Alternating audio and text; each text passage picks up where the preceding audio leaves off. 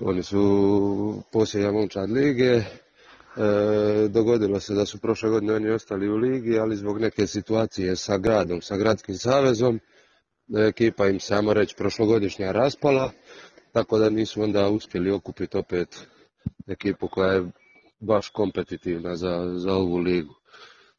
Tako da evo, očekujemo pobjedu. Što se tiče Pitura, je li momčad kompletna? Jes, svi smo kompletni. E, ne znamo još točno ko će igra, dolazimo svi četvero, nema ozljeda, tako da ne bi trebalo biti problema što se tiče sastava. E, pa evo koji uvijek pozivamo navijača i to ne samo zbog meča našega, nego zbog e, općenito što se sutra igra taj božićni turnir koji evo zadnjih par godina do, postiže sve veću popularnost u Hrvatskoj, tako da bit će preko 200 natjecatelja sutra, tako da se očekuje cijeli dan stolni tenis u Gospinom polju.